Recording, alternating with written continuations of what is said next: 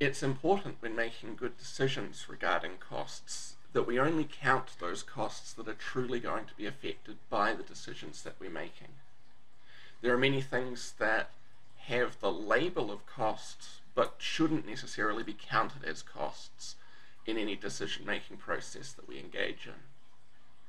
One particularly important example of this is that of sunk costs. Sunk costs are ones that we've already committed that we cannot reverse and since, hence, since these can't be affected by our, our decision, they shouldn't be counted as a cost of making that decision.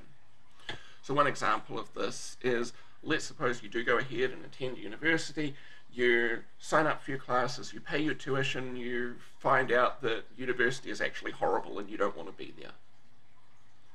But you say to yourself, well, I've already paid for this, it would be a waste for me to stop attending now. This is an example of what we call the sunk cost fallacy.